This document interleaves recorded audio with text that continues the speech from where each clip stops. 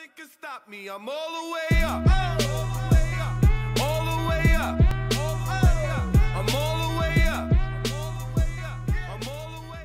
Guys, what is going on? It's Jacob here.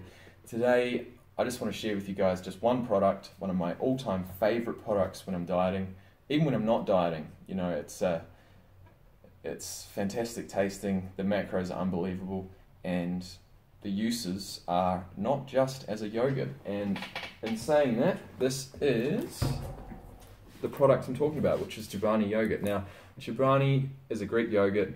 Um, I have never ever found a Greek yogurt that has as high a protein as this does and as low a fat as this does. Um, it comes out in sweetened versions with flavoring in there, like strawberry, raspberry, things like that. It comes out in a 0.5% fat version, which I don't particularly like because it's not creamy enough for my, my liking. But this one is a 2% fat version.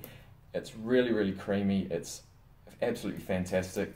Um, it takes like tastes like Greek yogurt, so you know if you want to sweeten it, you're going to have to put something in there. But if it's an artificial sweetener with no calories, um, you're getting a really, really nice tasting yogurt with macros of 129 calories per serve, 17 protein, 3 fat, and 7 carb. So, you know, that is absolutely fantastic. Like I said before, you can use it for different things. I love to use this as a sour cream, believe it or not. So, you know, you've got your nachos.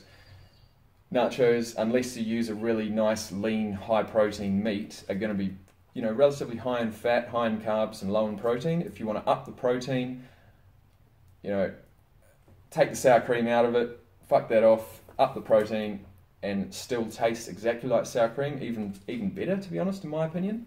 Have some Chobani 2% yogurt. Um, that is my tip for you for today. Chobani 2% as your sour cream.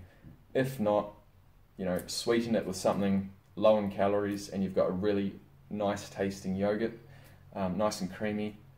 Try the 0.5% fat option. You know, that's even less calories, even higher in protein, but you know, it, it is a little bit more runny. It's not as thick. So, this is the ultimate product.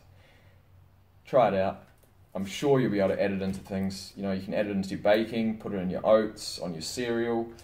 You know, you can make freaking high protein, you know, frozen yogurt. You can make high protein ice cream with it.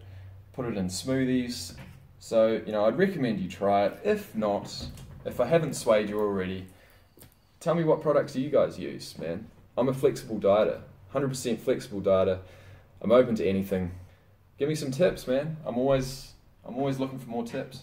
Then I can put out more videos for you guys to see. So until next time, guys, have a great day. I'll see you in the next one. Peace.